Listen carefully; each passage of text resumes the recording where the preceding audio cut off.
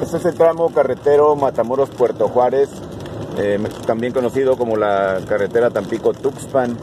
Como podemos observar, hay lluvia vertinaz aquí en esta zona del norte de Veracruz, en esta carretera que se dirige hacia el municipio de Tampico Alto.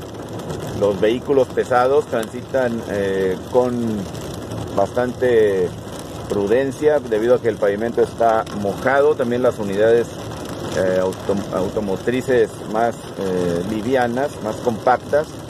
Y pues se espera que estas lluvias continúen en los próximos días.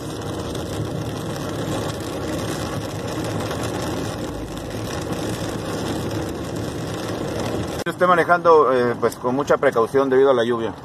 Así es, pasando el puente Tampico se registró una ligera lluvia, ya llegando al área de Tampico Alto pues ya se intensificó, hay que manejar con precaución.